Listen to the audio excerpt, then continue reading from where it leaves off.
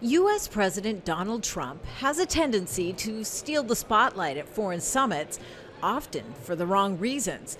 But this time, his decision to cancel a planned press conference on Saturday before he left the G20 in Argentina kept the focus on his economic goals.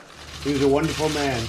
That decision came following the death of former U.S. President George H.W. Bush, who passed away in his Houston home during the summit we were going to have a very big press conference, and out of respect for President Bush, we've uh, canceled it here, and we'll have it back in Washington at some time in the near future, sometime after the funeral services.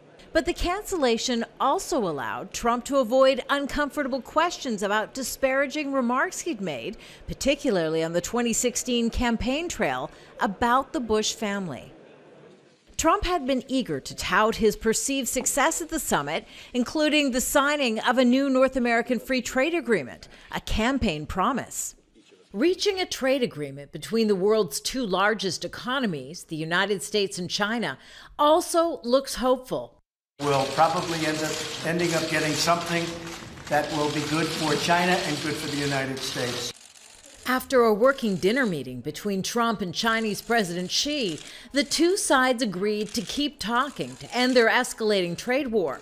There was also a promise by the United States to halt a planned hike of tariffs on Chinese goods. Russian President Vladimir Putin had also hoped for a sit down meeting with Trump, but got just a brief conversation on the sidelines of a cultural event. But unlike last year, when Trump left the G20 in Germany, refusing to sign the communique after objecting to language on climate change, this time he was able to keep his distance from the other world leaders by forcing into the document his reasons for withdrawing from what the White House calls the job killing Paris Climate Accord. The White House is calling the outcome of the G20 summit a resounding success noting for the first time ever the leaders acknowledged the shortcomings of the World Trade Organization and its need for reform. Kimberly Halkett, Al Jazeera, Buenos Aires.